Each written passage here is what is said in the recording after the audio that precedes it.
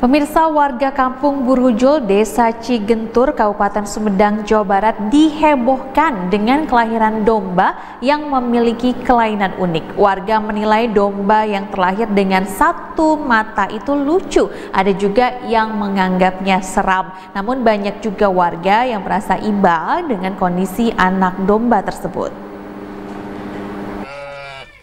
Warga kampung Burujul, Desa Cigentur, Kecamatan Tanjung Kerta, Kabupaten Sumedang, Provinsi Jawa Barat, dihebohkan dengan kelahiran anak domba bermata satu.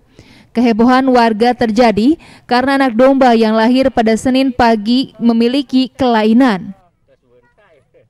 Pipih yang pertama kali menemukan anak domba mengatakan pada waktu induknya akan melahirkan prosesnya sangat lama hingga dua jam. Setelah anak domba pertama lahir disusul yang kedua tidak begitu lama. Pipih belum menyadari satu dari anak domba tersebut ada kelainan. Setelah kedua anak domba tersebut lahir, barulah Pipih menyadari ada kelainan pada anak domba tersebut. Lahirnya jam 8 sampai jam 11 udah lahir. Itu kapan Pak? Pagi-pagi. Oh pagi-pagi ya? Iya, pagi-pagi. Itu dari dari satu satu induk itu berapa ekor yang lahir Pak? Dua. Dua dua ekor. Hmm. Yang punya kelainan itu yang itu yang aja. iya yang pertama. Yang pertama ya. Iya. Tapi yang keduanya normal. Pak. Normal. Pertama mengetahui kambing ada kelainan itu gimana Pak perasaannya? Saya dilihat, saya juga udah bengong. Ya.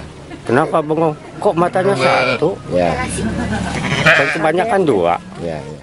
Ketua RW Dede mengatakan dirinya pun baru mengetahui setelah ada kabar dari seorang warganya yang mengabarkan ada anak domba bermata satu. Warga pun akhirnya mempublikasikannya di media sosial dan kini viral.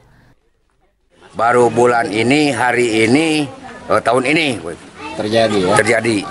Itu pertama kali ditemukannya kapan Pak? Kemarin tanggal jam 10.11 Jam sama yang punya dombanya itu. Ada keanehan. Ada keanehan, ya ada keanehan. Dede berharap dengan adanya kejadian anak domba lahir dengan mata satu ini, pemilik domba khususnya dan warga kampung Burujul mendapatkan berkah rezeki dan keselamatan yang berlimpah serta bermanfaat. Dede pun meminta kepada seluruh warga tidak mengait-ngaitkan dengan hal-hal yang negatif, apalagi dengan kondisi negara saat ini. Diki Guntara, Bandung TV.